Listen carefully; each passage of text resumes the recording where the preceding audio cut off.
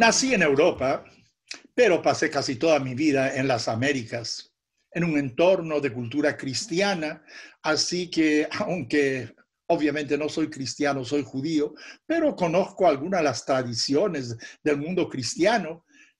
En lo que se refiere al mundo del Islam, nunca viví en un país islámico, no conozco las tradiciones de la India o de la China, así que mi referencia va a ser más bien entre el mundo judío y el mundo cristiano que conozco.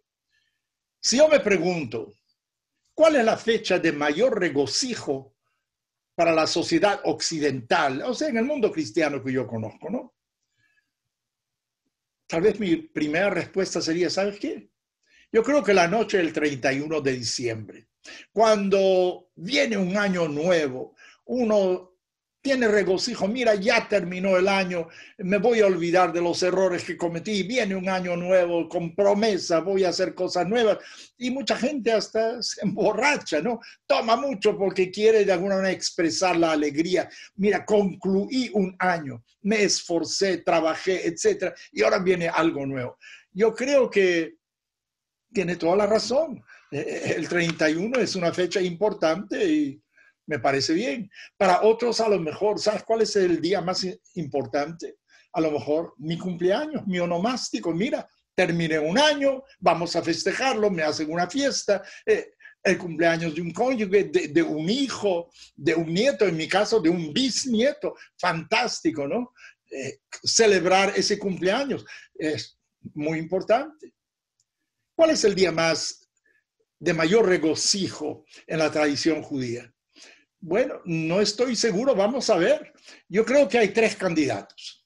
Uno sería Purim, otro sería Hanukkah y otro sería Simchat Tanto Hanukkah como Purim celebran qué? victorias del pueblo judío.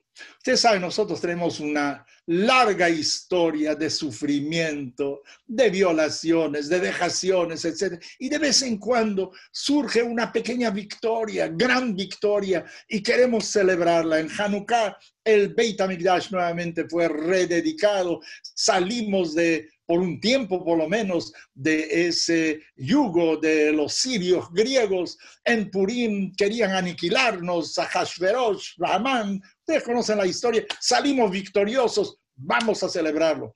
Mira, dice la tradición de Hayabada, uno tiene que emborracharse realmente, ¿no? En Purim, hasta no saber la diferencia entre bendito Mordejai y maldito Amán. O sea, es un momento regocijo. Sin embargo, si me preguntaran a mí cuál es el día más alegre de la, del calendario judío, yo le diría que es Simchat Torah. ¿Saben por qué? Porque en Purim se celebra un hecho puntual. En tal y tal fecha, en Adar, de tal y tal año sucedió algo. En Hanukkah, en Kislev, en tal y tal momento sucedió algo. Pero Simchat Torah es algo diferente. Es la alegría con la Torah que es vigente durante todo el año. No es un evento puntual, sino es algo de todo el año. Miren una cosa, ¿qué estoy celebrando realmente en Simchat Torah? En Simchat Torah estoy celebrando primeramente un libro. Me alegro por un libro. Me alegro por la palabra, me alegro por la mitzvah, me alegro por las obligaciones que hay en esa mitzvah. Mira, ¿es ese realmente un motivo para alegrarse? A lo mejor todo lo contrario. Mira, es un yugo, eh, me han impuesto obligaciones, es un día que debería ser medio triste y sin embargo, vayan ustedes a una sinagoga hasídica en Simchat Torah. Mira, no hay alegría que sea más contagiosa que la que hay danzando, bailando con la Torah. Claro, este año fue un año diferente, no pudimos experimentarlo. Lo que tuvimos era que pensar qué es lo que hicimos en, en otros años, todo lo contrario. O sea que el año nuevo, cuando uno celebra el 31 de diciembre, es rienda suelta. Mira, hoy en día voy a hacer lo que me da la gana, bebo, bailo, etcétera, etcétera. En la tradición judía, el día más alegre es Simchat Torah, ¿sabe qué? Asumo de nuevo mi compromiso con la Torah. Asumo de nuevo las obligaciones que la Torah me impone. Mire, e, es algo realmente raro. Es raro porque no estamos viendo la ley como es debido. Se creemos de que la ley nos oprime, es todo lo contrario.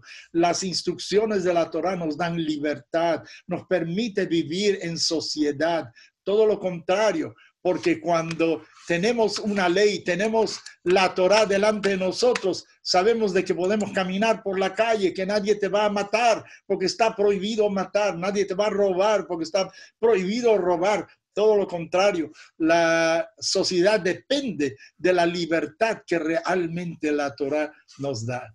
Pero fíjense de nuevo, qué raro, cuán diferente es la tradición judía, que el día más alegre es el día en el cual celebras un libro, en el cual celebras la palabra, en el cual celebras una idea. No estás celebrando ninguna matanza, no estás celebrando ninguna victoria sobre otro pueblo, sino todo lo contrario, el día que asumes nuevamente todas las obligaciones. Y mira lo que hacemos terminamos de leer la Torah en Simchat e inmediatamente empezamos de nuevo para decir, mira, eso no es puntual, no es que hoy celebramos y mañana dejamos celebrar, no, todo lo contrario, hemos leído la Torah durante todo el año y empezamos nuevamente. Recuerda que las cosas que realmente tienen valor no son puntuales, son las que te acompañan durante toda la vida.